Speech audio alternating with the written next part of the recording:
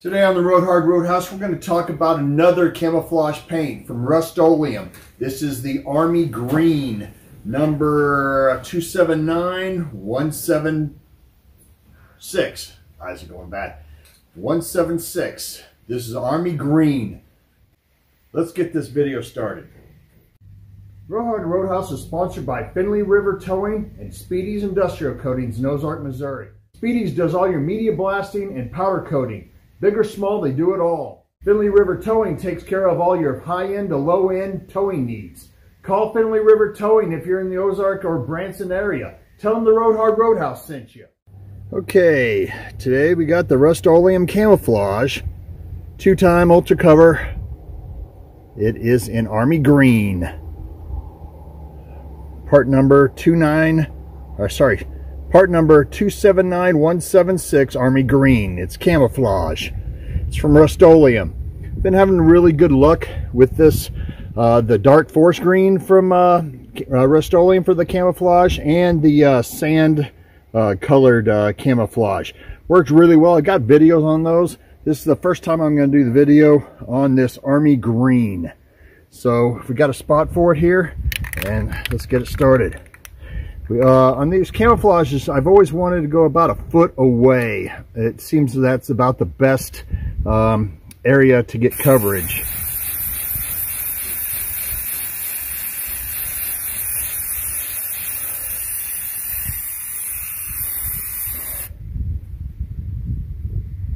What I'm going to end up doing is putting about two or three coats on this because this is the uh, the hood that I let everything last for about a year on it. I'm going to put about two or three coats on this. That way you can see what it looks like in about a year um, of it sitting outside in the elements. This hood, I uh, let it sit out in the sun. It's about 95% sun uh, on this hood all the time, uh, or at least during the daylight anyway. And as if you if you watch all my videos, you see that what I do is I do a video on it and I let it dry. I do a video on it in a week all in the same video and I show you how it the cap matches the paint. And then in a year I'll do another video that I'll put out separate where I show you how the paint has lasted for a year. Put another coat on this. It doesn't run or anything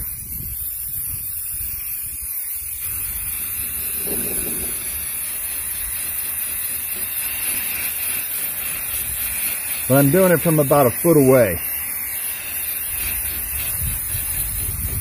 This metal's not totally smooth. I did use, I'm going to put about two or three coats on this. That way you can see what it looks like in about a year um, of it sitting outside in the elements. This hood, I uh, let it sit out in the sun. It's about 95% sun uh, on this hood all the time, uh, or at least during the daylight anyway. And as if you if you watch all my videos, you see that what I do is I do a video on it and I let it dry.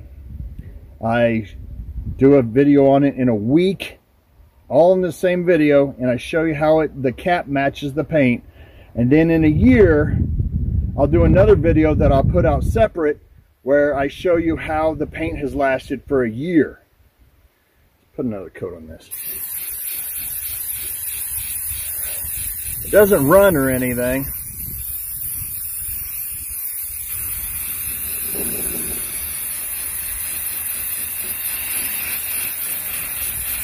But I'm doing it from about a foot away. This metal's not totally smooth. I did use a scrub brush on it and a scouring pad just to uh, a red scouring pad just to see uh, if I could get anything major off of it. But that's it. We'll see how it dries. See how well it looks towards the cap right now. The cap and it are exact.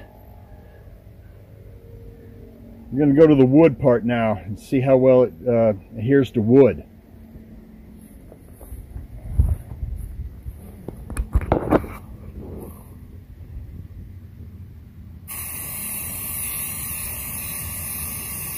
Again, about a foot away.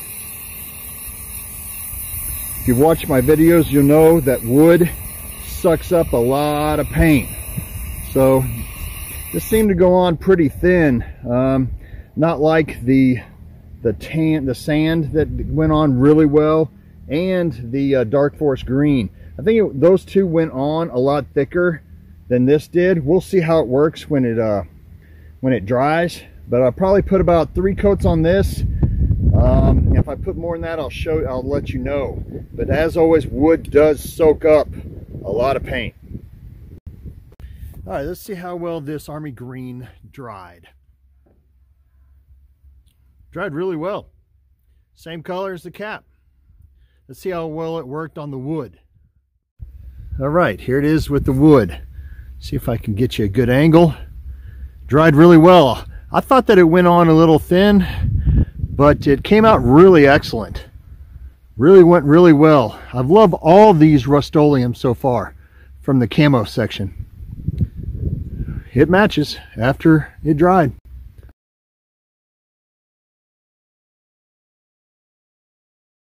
Okay, this is after it's been out for a week. The Rust-Oleum, two times ultra coverage, Army Green, 279176.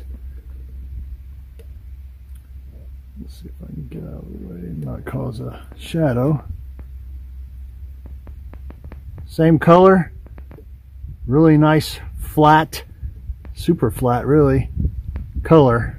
reason why I put the Rust-Oleum Army Green Camo is because I'm going to be doing camo from other companies, see how well they work as well. So the Rust-Oleum, they got a really nice army green. Here's their uh, dark forest green. You can hardly see it in there really. Sun needs to come out just a tad more around the building. So there we go, Rust-Oleum Army Green Camo. Now let's move to the wood. All right, here's your Rust-Oleum Army Green Camo. It's a flat, worked out really well. I'm really impressed with the uh, Rust-Oleum's um, Army Green stuff, all their camo stuff. It's gone on really well. It's gone on really flat, which I was kind of surprised. It's a really nice camo. Um, here's their Rust-Oleum, the sand color in camo, and the Rust-Oleum Dark Forest Green. I've done videos on all of these, so if you want to take a look at them. And I'm also getting ready to do a bunch of the Krylon uh, camo stuff. But this is the Rust-Oleum Army Green right here. Turned out really nice. There's the cap flat color went on well stays on well after a week and in all my videos I'll do another video in a year from now just shows you how well that this stayed on as well as the hood over there and uh, that's how I uh, do my videos to show you guys how well an outdoor paint type stays on. You have this paint? Has it worked really well for you? Let me know down in the comments. Thank y'all for watching, liking, subscribing, and as always, if you ride her hard, don't put her away wet. In one year, another video on this paint. A lot more videos on spray paint coming. Thank you.